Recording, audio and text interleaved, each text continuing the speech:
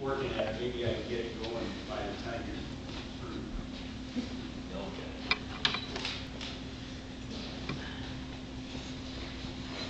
Okay, let's just go ahead and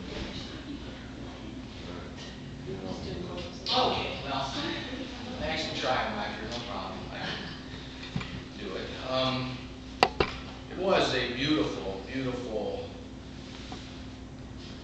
Gaelic song sung by this woman with the voice of an angel, that if you, if you cannot, It's at the top. well, are you, are you done, or you still trying? You Go can't, ahead, I'm, you can't turn the mic on while you're doing. Okay, well, you guys can hear me anyway, can't you? Yeah. Anyway, uh, I played this, when my mother passed, we had a, a few months after she died, she died out here, we had a memorial up in northwest Indiana for her. And we had a, we had it in a, in a restaurant, a private room in a restaurant. And, um, most of the people were family members, but they were, my mother was not very well known by most of my friends and everything. So it was kind of a, a, a gay get-together. We had dinner and everybody was laughing and joking and stuff like that. And then I put this, this song on, this Celtic lament is what it is. Beautiful. It's from, it's from the soundtrack Rob Roy, if you've ever seen the movie Rob Roy, it's a great movie. But anyway, by the time it was over, Roger, I thought you had it all. I'm sorry. Marta, just come on. I'm gonna go sit down. It's okay. I'm sure glad we're getting this on tape.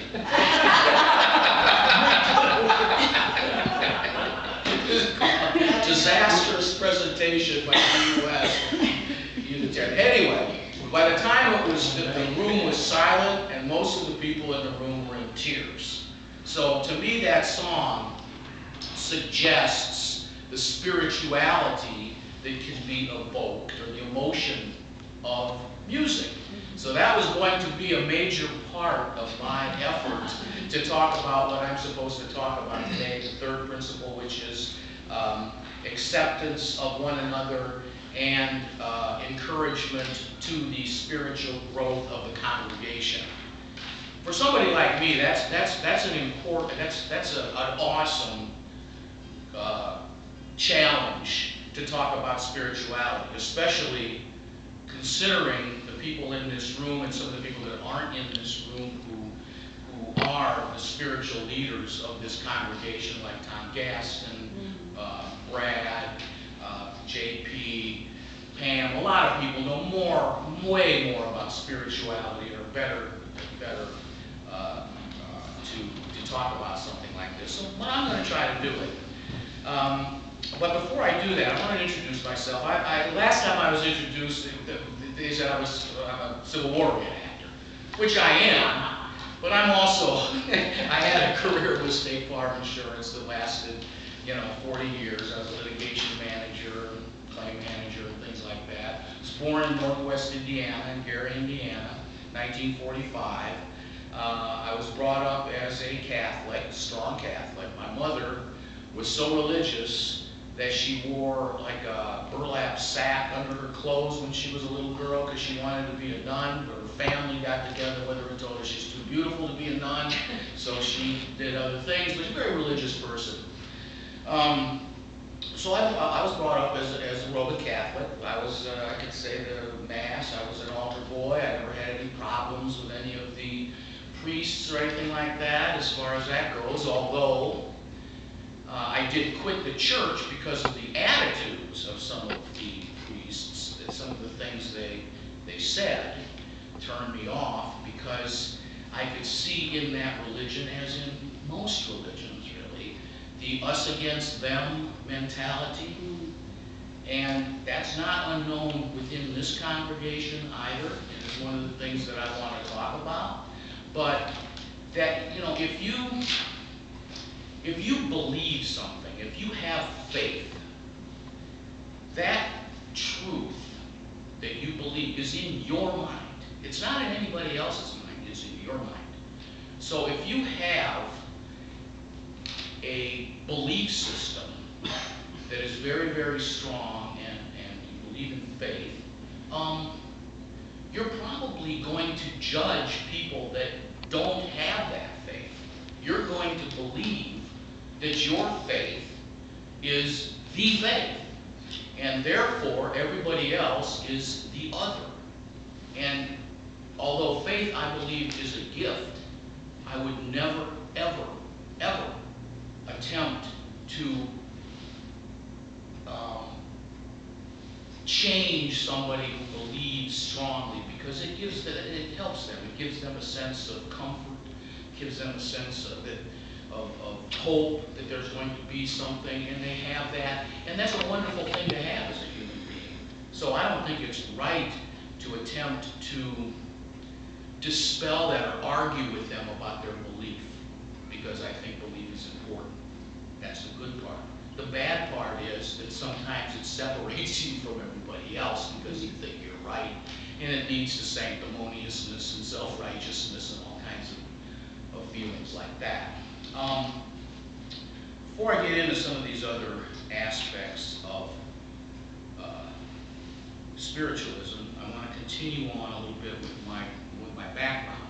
My mother kind of lost her faith after a while, and she she went around kind of sampling all sorts of other religions, all sorts of New Age type religion. I remember when I was about 15 years old, we went up to this temple in Chicago, and the, the, the faith that she was uh, toying with at the time was called the I Am.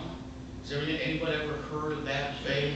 I am that I am. We went up there, we were eating tofu, you know, Brussels sprouts. You know, my brother and I were like, "Where's the burgers?" You know, like, oh, God, get us out of here as quickly as possible.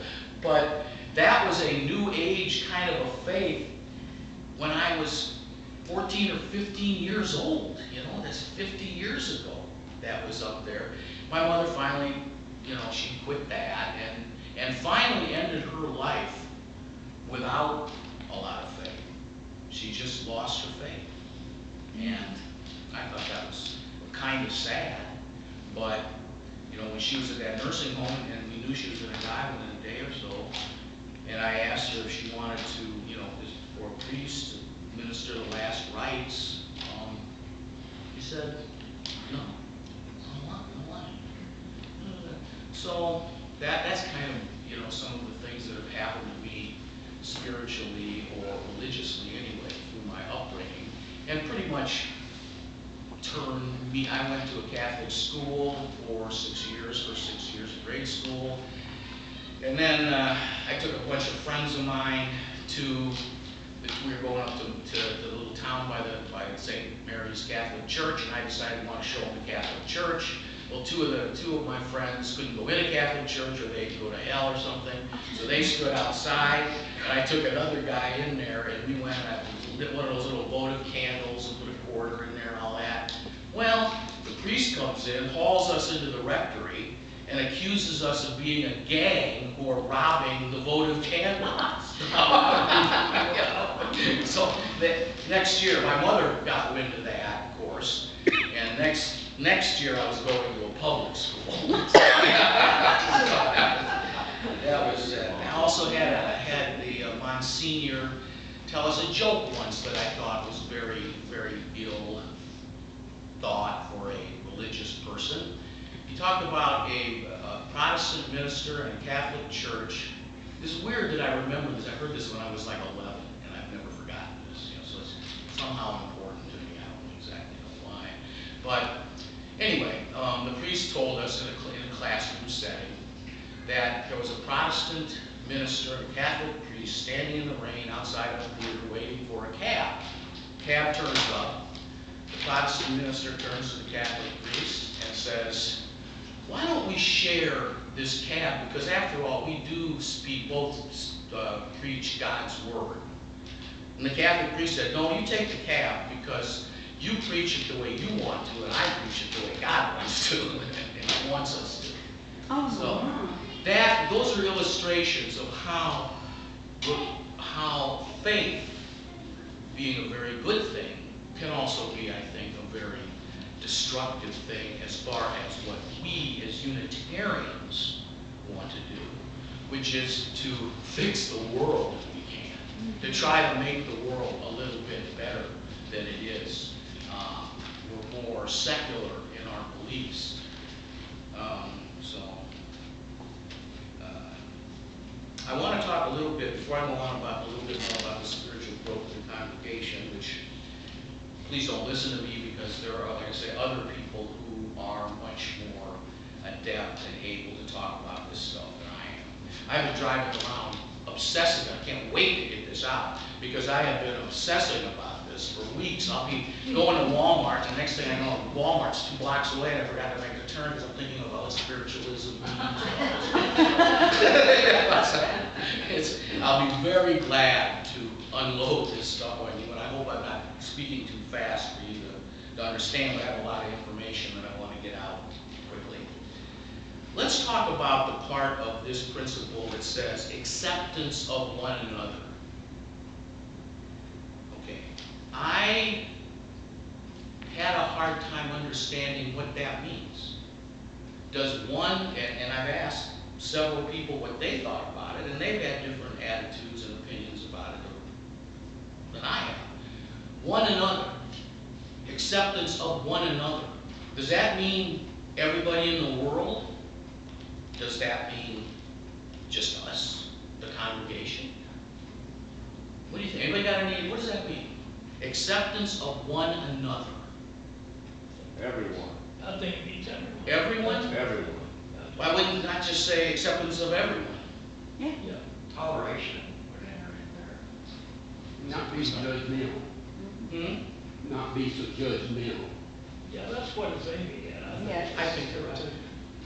What I think, you know, I, I- and I had one of these in life, acceptance of one another, I'm thinking it's about religion, acceptance of all religions.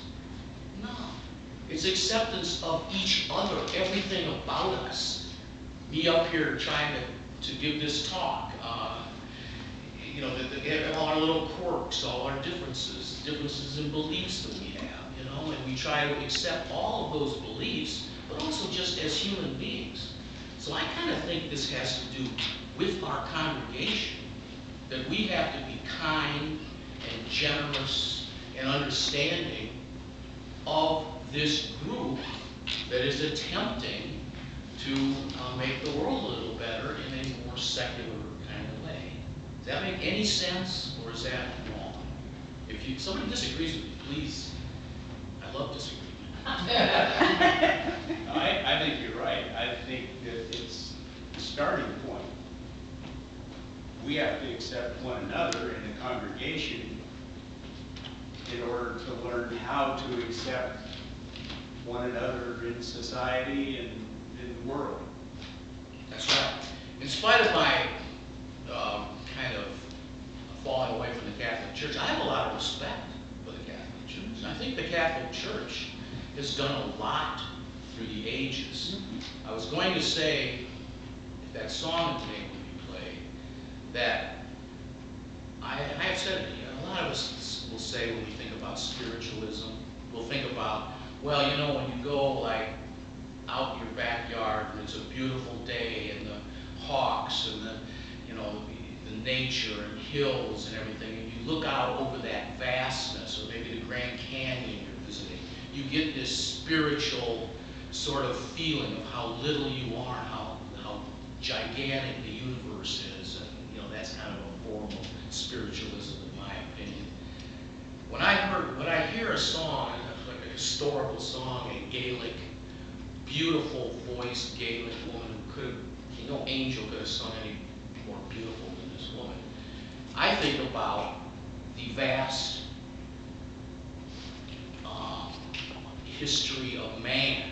Instead of the Grand Canyon, I see what men have done, men and women, mankind. I'm not talking about just men, I'm talking about mankind.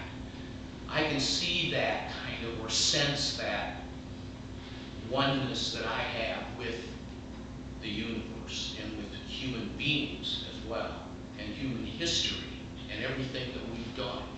And the Catholic Church has a lot to do with that.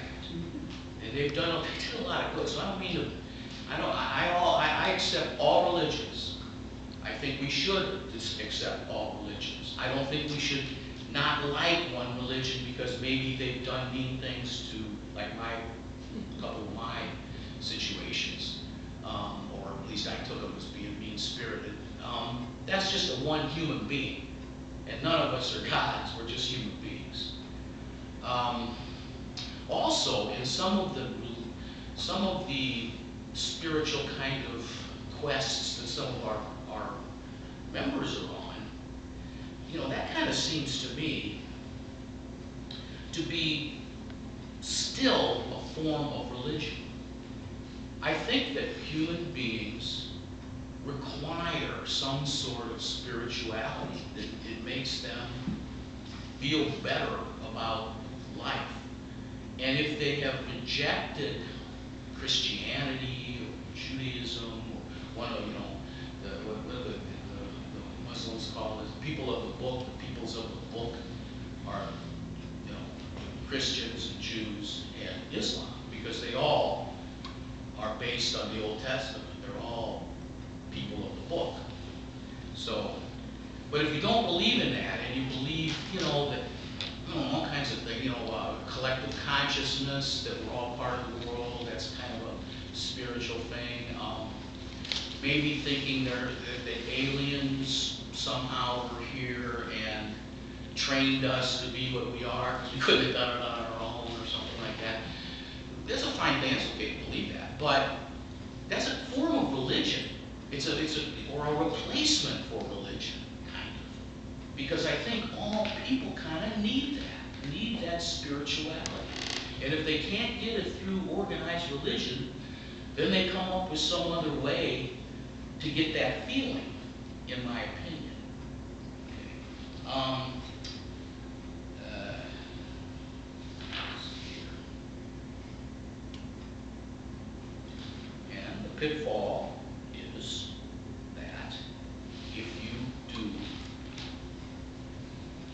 form your little group of religious believers, it's very easy then to set yourself against another group of believers or another kind of people.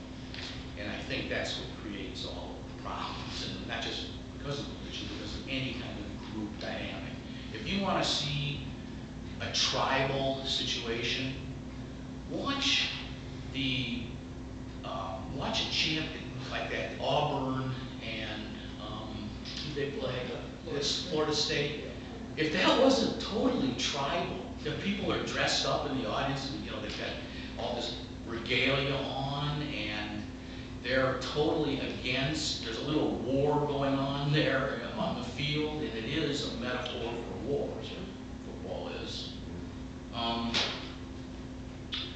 that's our, that's our true nature. I study quite a bit about these ancient tribes. I've talked a little bit one week about the Scythians, these who are the, were hunter-gatherers, but they were also pastoral, and they were also brutal and predatory. And, that's the nature of human beings, to be predatory. That's why our eyes are in front of our, you know, predators in the, in the mammal predators, their eyes are in front. Herd animals, game animals, on the side. So they can see them looking for us, we're looking for them. The same thing goes with people. Um, okay, this is just one of those memos. I'm going to, I have, I'm going to end this, I think. Um, And hopefully there'll be some discussion, some disagreement, maybe we can have a, a discussion here uh, about some of the things that I've talked about. Um, But I'm gonna read some, this is something from one of the UU websites or something like that. And it, it, it does a pretty good job, I think, of kind of describing us. And it says, let us celebrate being part of a reasonable and passionate faith that allows spiritual growth without the burden of accepting specific dogma. A faith that requires us to engage in, uh, more, engage moral questions deeply. This work is difficult. And the discoveries will be different for each of us. But we must always remember that it is through our most human quality, our ability to love, that we can touch the divine. And I say, let it be. Amen. Read that. And I could go on and on about this stuff. I have a couple of good stories if you want to hear them, but if not, are there any questions or anything anybody wants to say? David? Not a question, but I'd like to go back to your mother that you mentioned. Yeah. And the viewpoint that I see is that she felt something was lacking and was looking for it. And she began to find it. And she got above all this darn dog bun ritual and that kind of thing. And she saw where she belonged and took responsible for herself. She didn't need somebody else to do her, her talking and like, uh, making smoke and all that kind of stuff. And, uh, she was a, in my opinion, a much more powerful woman, if that's the way to put it. Yeah, my, my mother was, you know, she was a, she was, she was a, she was a dichotomy as a person. She was different things on each end of, you know, the good and the bad. She, she was, what you say is right, David, but also, she was angry with God because oh, oh. she didn't get what she thought she should have. And because of this deep-seated religious belief that she really couldn't get out, she thought God should have, you know, done better by her. That's what's got me. I see, I believe in nothing and everything. I think there is a God. I don't know anything about him. I'm like, I'm like, I have like a Native American attitude toward it. The great spirits up there, you know. I don't have any peyote, so I don't have to, I can't try to get close to him, but like the Native Americans did. But I don't understand him. So, or her, or it, or if there's anything there. That gives me a great sense of, of freedom because I am not bound by why did God, why did this happen to me? And, you know, I prayed and everything and then nothing. What, what is that all about? That's not fair. And so, out with Now, um, it gives me, I think, a way to look at everybody and everything in, um, You think that helped right up to the end I think Kirk, with her, yeah? um, She didn't reconcile. With my mother was an extremely strong person. She was, she did all kinds of things, and I don't want to demean her. I love her, love her. I had everybody in that room crying to this song, and they hardly even knew her. It's so hard to play. See they make me cry here. But, uh, yeah, maybe next time. Um, no, she, she was just, she just was burnt out. She was demoralized uh, by her efforts to you know, she had, we found a check in her wallet. It said, it was like a bank check, to Yvonne Martine, one million dollars, signed God. You know, that's not real spiritual. That's looking for a reward for what you've done on your life, really, I look for that. I'll tell you, you know, I told some Catholics, story, I'll tell one Baptist story, and then I'll, then I'll, my, my first wife, Gloria Marie, she was, a she was a Catholic, we raised our kids as Catholics. They're all like me now, exactly the same, they're not, uh, at all religious. But we, we, you know, I, I thought it was a good idea to open them up to religion, and, you know, might as well go through the catechism and all that in the Catholic Church, and they did that, St. Bridget's. Um, um, so one day I come home from, from work, and my wife Gloria, she's like, uh, you know, I hope you don't mind, uh, Dean, but I signed the kids up for a summer camp. And, uh, they're gonna go for two weeks, it's only, this is such and such amount of money, it's not really expensive or anything, and I'm like, hmm. I said, "It's- not uh, like one of these, you know, religious camps or anything like that, is it? And she's like, oh, no, no, no, she gave me the brochure, it says Camp Lorca, and I always remember this, the, the, uh, the letters, L-O-R-C-A, it stood for something, but Camp Lorca. I said, so this isn't a religious camp? And she's like, no. I said, what's with the big cross crucifix.